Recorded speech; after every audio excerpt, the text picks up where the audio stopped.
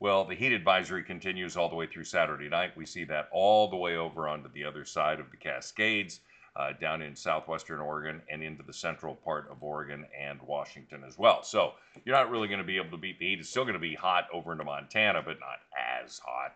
Um, as we look at hour by hour, we get in uh, by 8 o'clock, we're at 65 degrees. So it's going to be a great walk to school, very mild.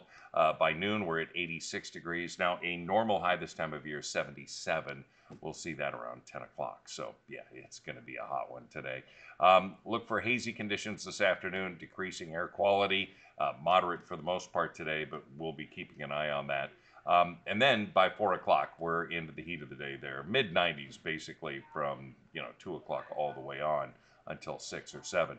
Smoke forecast, yeah, increased smoke coming in just from these light winds, it's just sort of going to ooze into our area for this evening, and uh, it's going to hang around tonight into tomorrow. Heavier amounts, of course, into the Yakima Valley, into the LC, and then south through Grangeville. So in those areas, you're going to have to look out. Um, a few clouds coming across. That's going to be about it. Uh, we're going to see Saturday looking pretty good until the evening, and then that cloud cover starts to come in for Sunday, Monday with a mountain showers uh, Sunday afternoon and we'll see a continuation of cooler weather coming out of the northwest.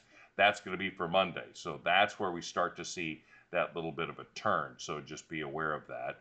Um, and really, we're going to continue to get cooler as we have more influence coming out of Alaska.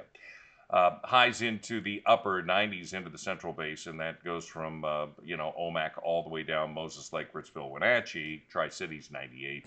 Um, Kellogg is going to be 94 degrees today, uh, 103 into Lewiston. So elevations aren't going to play a big part. It's still going to be hot. that high temperature trend, yeah, we have the potential for records to be set um, on Saturday and Sunday and possibly Monday, but really it looks like just all the way through Sunday uh, with that record heat, the haze that's going to continue, and that chance of showers that we're going to be seeing on Wednesday and Thursday.